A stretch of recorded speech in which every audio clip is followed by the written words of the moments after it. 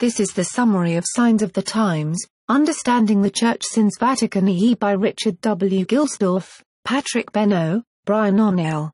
The last 40 years have been tumultuous ones for Catholicism. Seminaries emptied, priests and nuns left their vocations, people dissented from basic teachings, and children received poor catechesis. It didn't used to be this way. What happened? An unsung hero during his time, the late Fr. Richard Gilsdorf helps answer such questions by giving a precise and thorough explanation of developments in the Church since Vatican II.